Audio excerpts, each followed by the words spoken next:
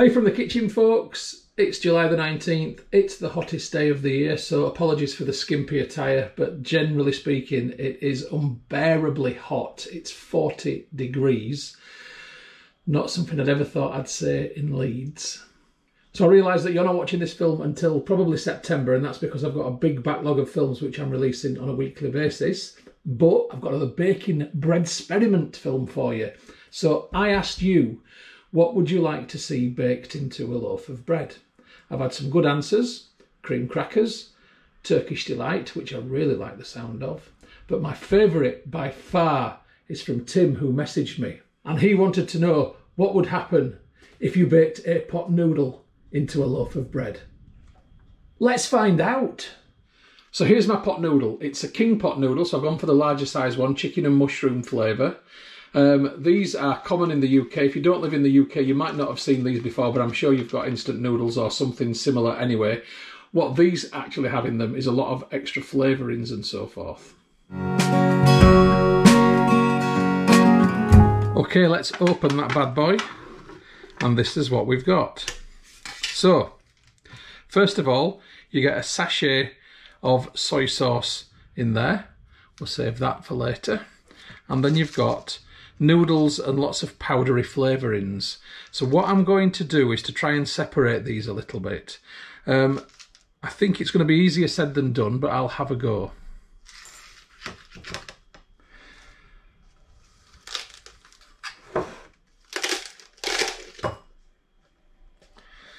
Okay, so that majoritively is the noodles, and that majoritively is the powdery flavourings with some bits of noodles in there. Now the powdery flavourings will contain salt and I don't want to put that anywhere near my yeast because salt and yeast don't like each other. So I'm going to need to take into account the fact that these noodles need to be hydrated a little bit. I'm not going to fully hydrate them, but I am going to take that into account right now before I continue with the recipe. So keeping the flavouring to one side, I'm going to go back to the noodles and put them back in the pot. And I'm going to get some water boiling in my kettle. So the kettle's boiled and I'm going to add a little bit of water onto the noodles. I don't want to add too much, but just enough to hydrate them a little bit. That'll do for now. So while I'm waiting for the noodles to hydrate, I'm going to prepare the yeast. So what I've got here is some homemade applesauce. This contains nothing but apples and sugar and some chives because it was actually an experimental apple and chive sauce. Now I'm not putting this in for the flavour, I'm putting this in for the fact that this contains quite a lot of good stuff for the yeast to feed on. It actually in essence becomes a nutrient. And I'm going to put that much in the bottom of my bread tin. Okay, I'm going to pour on top of the applesauce 350ml of warm tap water. I'm then going to add one and a half teaspoonfuls of sugar. I'm going to give this a stir around so it all mixes nicely. Then I'm going to add the first of two yeasts. This is Asda Easy Bake yeast for home baking. So I'm going to put a little sprinkle of that on top. This is very fine yeast as you can see. I'll have a little bit more. So there's probably the equivalent of three quarters of a teaspoonful gone there. So the second yeast I'm going to add is actually a beer yeast. It's a Crossmyloof Weissen yeast. And trust me, this is some good stuff.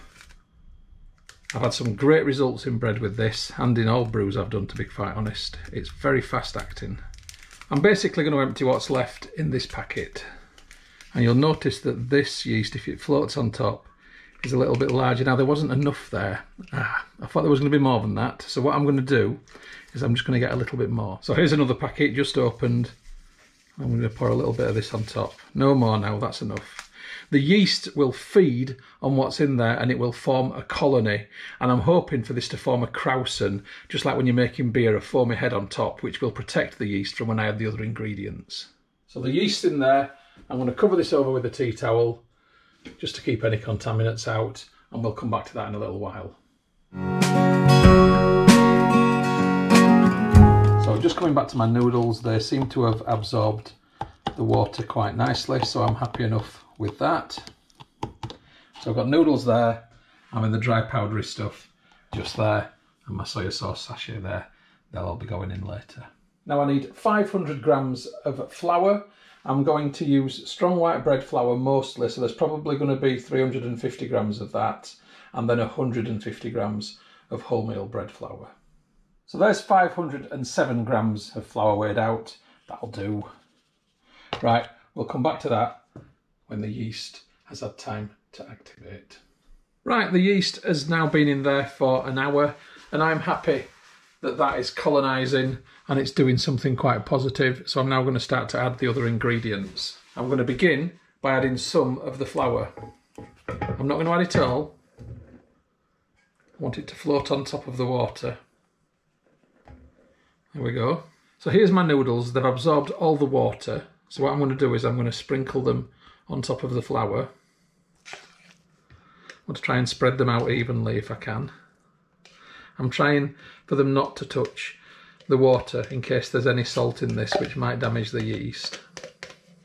Now I'm going to add the rest of the flour. Apologies for the background noise. That's Leeds Bradford Airport. Somebody going on their jollies.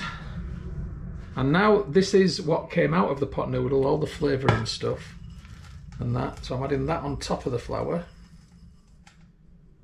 I'm going to add a few Italian mixed herbs because I like Italian mixed herbs. I have them in everything. A little bit of salt, some pepper,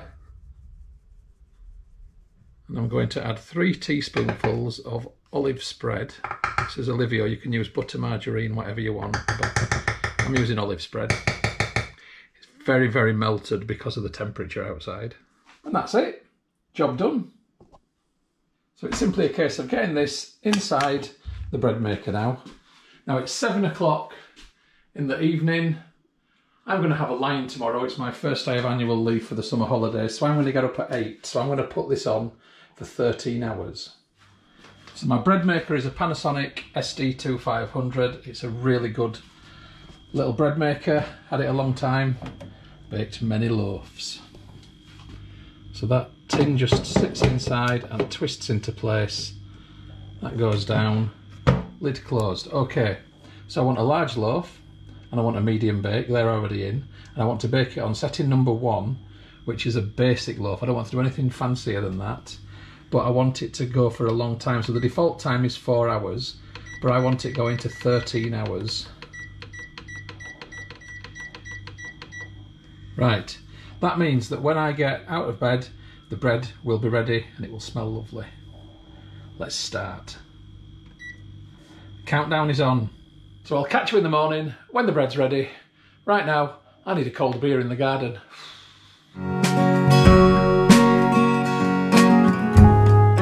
It's the next morning. There's less than a minute to go. The moment of truth is upon us.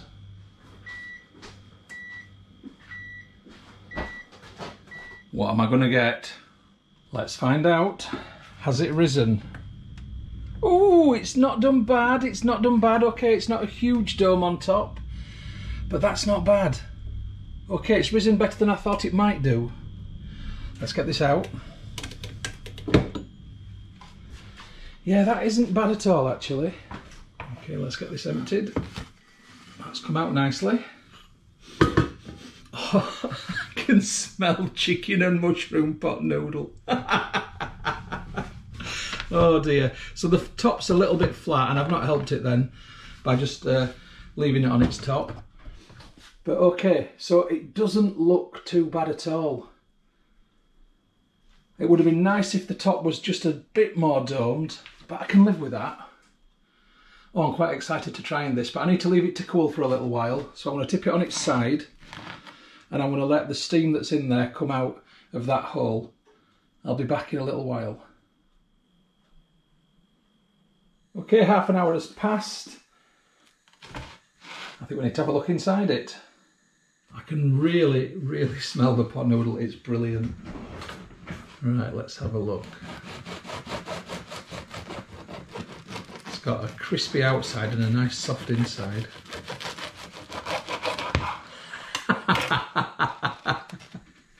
yes. Sweet corn from the pot noodle. Amazing. So it's got a nice crumb. Look at that. I mean, that is, uh, it's really, really soft and moist. That's a nice loaf of bread and it smells fantastic.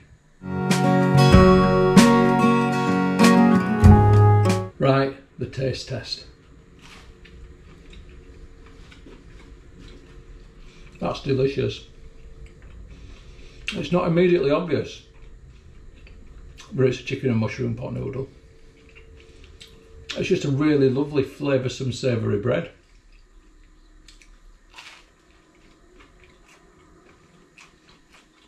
Mmm, absolutely gorgeous. A huge success. In fact, the more I'm eating it, the more I'm tasting the pot noodle flavour now. It's brilliant. Big thumbs up from me.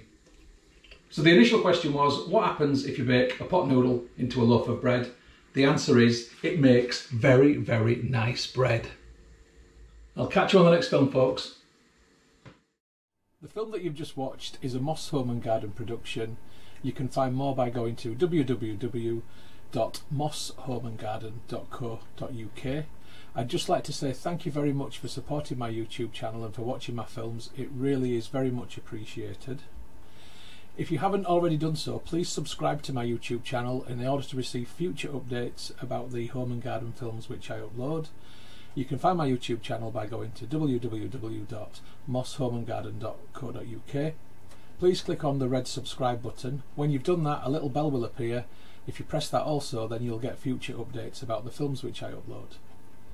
If you like my films, if you like my style of filming, then you might also like my travel channel, which you will find by going to youtube.com forward slash Stuart Moss or type in www.mosstravel.tv Again, if you could subscribe to that channel, it would be hugely appreciated. If you'd like to get Moss Home and Garden updates on Facebook, then please open Facebook and do a search for Moss Home and Garden, and you will find the page. If you like the page, then you will get future updates on there. And if you'd like to connect on Instagram for home, garden, and travel photography, as well as some stories, then my username is Stu Moss, S T U M O S S. If you'd like to connect on Twitter, then my username is at Stuart Moss. And if you'd like to contact me about film usage or any other issue, please just email me on stewmosshomegarden at gmail.com. Once again, thank you very much for supporting my channel, for watching my films. I do appreciate it. I'd just like you all to have a great day.